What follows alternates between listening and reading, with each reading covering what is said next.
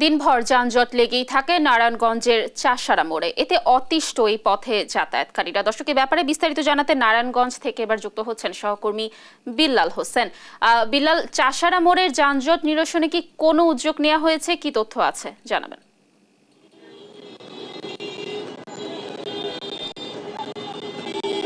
ধন্যবাদ লাবণী, আপনাকে জানাতে চাই, যানজটে যানজা এই প্রবাদটি এখন নারায়ণগঞ্জের মানুষের প্রতিদিনের আসলে নিত্যদিনের কারণ হয়ে দাঁড়িয়েছে।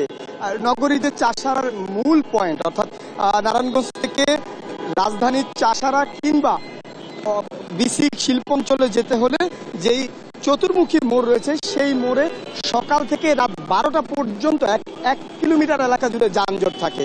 চাষারা থেকে দুই নং রেলগেট এলাকা পর্যন্ত এতটুকু জায়গা পার হতে মানুষের সময় লাগে এক ঘণ্টার বেশি। বিশেষ করে এই নগরী থেকে কেউ যদি রাজধানী কোনো হাসপাতালে যেতে চান, অর্থাৎ অ্যাম্বুলেন্স ব্যবহার করেন, সেই অ্যাম্বুলেন্সগুলো কিন্তু এই পয়েন্টে এসে আটকে থাকে।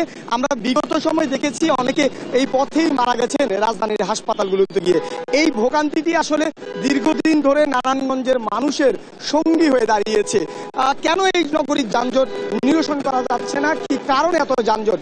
এসব বিষয়ে কথা বলেছেন নারায়ণগঞ্জের পুলিশ সুপার গোলাম মোস্তফা রাসেল। তিনি জানিয়েছেন, প্রশস্ত সড়ক এবং নগরীর যে অব্যবস্থাপনা এসব কারণেই মূলত এই দীর্ঘদিন ধরে এই সমস্যাটি ছিল এবং অপরিকল্পিত নগরায়নও এর মূল একটি কারণ বলে তিনি জানিয়েছেন।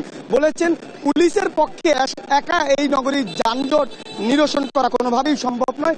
এই জন্য নারায়ণগঞ্জ সিটি কর্পোরেশন সহ জেলা প্রশাসন সকলকেই উদ্যোগী হতে হবে।